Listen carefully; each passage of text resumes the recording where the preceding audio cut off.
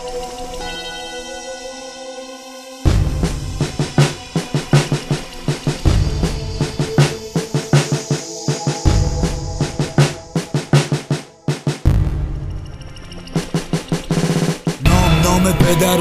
زندگی شماره سجل شروع بازجویی که گفتنش هست واسه مایه خجل. یه تهمت خورده که چشاشو بستن. از عفونت درون بازجوش تو ذهن خستش.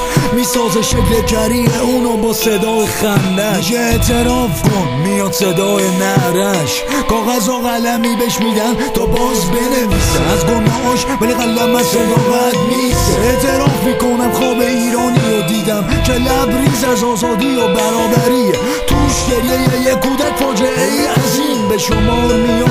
پر مرام و برادریه اعتراف می‌کنم منو خواب می‌بینم با چنگ و اعتراف می‌کنم که جهان خواب من زیباتر از جهانیه که توش نفس می‌کشه. اعتراف می‌کنم زالوها تو پیلم پروانه نمیشن. زالوها تو پیلم پروانه نمیشن. زالوها تو پیلم پروانه نمیشن. زالوها تو پیلم پروانه نمیشن. زالوها تو پیلم پروانه نمیشن. یه گاز پیکنیکی و چند تا دستبند. چند کابل تلفن با توم برقی و بستن. به الکترودای که الکتریکی و چند گازم با یه تخت بدون تو شک در باز از نو. همینا بود. تموم دار و ندار شکنجگر حاصلش مرگ روح یه جس با دنده و دندونای شکسته اینا رو میگم دارم دیوونه میشم. با هر ضربه زخمی از تو دارم بیرونه میشم. درد تو اشلاق که تنه تو بنده. درد تو درد مردمته که وطن تو بنده. امرو دو تا ناخونه دیگه پاش افتاد گفت پشته.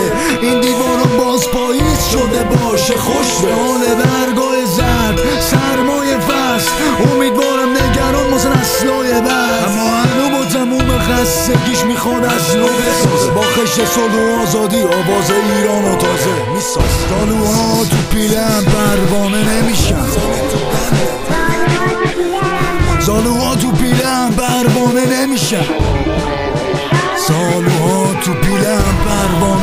نمیشن زالوها تو پیلم پروانه نمیشن زالوها تو پیلم پروانه نمیشن میشه اندیشید؟ خواب دید رویا باف تو سلولم میشه جهان تازه ای از این دنیا سا با امضا پای تقاضای بخشش نام شاید بخار می‌شد دیوارای سلول شاید اما امضا نکرد تا تو دادگاه وجدانش. مکون به حبس ابد نشه دل شورش شایع است. شاید بعد سالا تحمل حبس از اینا سلول رها بشی. حساب دست اما به سبک بالی یه پروانه رها میشی.